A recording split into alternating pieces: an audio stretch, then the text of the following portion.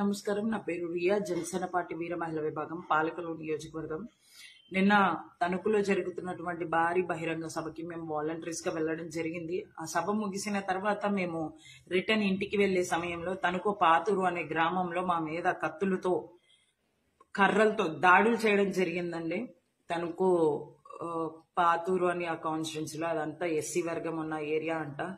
ఎంత దానంగా I got shoulder injured shoulder injured అయిందండి నాకు ఇలా కర్ర ఇసిరేసిన తర్వాత. అండ్ ఇలా కొడుతున్నారు అని చెప్పి ఒక అబ్బాయి వచ్చి ఎందుకన్నా మమ్మల్ని కొడుతున్నారు? రీజన్ లేకుండా ఎందుకు కొడుతున్నారు? అంటే జెండా పట్టుకొని వచ్చావా?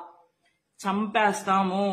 అని కన్ఫామ్గా చెప్పేసి మరీ కుట్టేస్తున్నారు. ఆ కత్తులతో వెనక ఈ మీద చీరేసి ఈ పాటలు కూడా చీరేశారండి. అక్కడ ఉన్న పోలీస్ సిబ్బందికి కూడా చెప్తుంటే నేను డ్యూటీలో లేనమ్మా అంటున్నాడు ఆ పోలీస్ పేరు ఎం లంకా శ్రీనివాస్.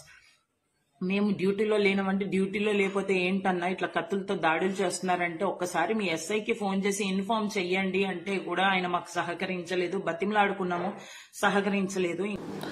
కాపుల మీద కాపులనే దాడికి పంపించినా దళితుల పేరిట దాడికి పంపించినా వేరే ఏ సామాజిక వర్గాన్ని పంపించినా జనసేన పార్టీలో ఉండేటువంటి వ్యక్తులు కులాలకు అతీతంగా మీ హక్కుని మీ ప్రాణాలని కాపాడుకోవడానికి ప్రతి దాడే చేయండి.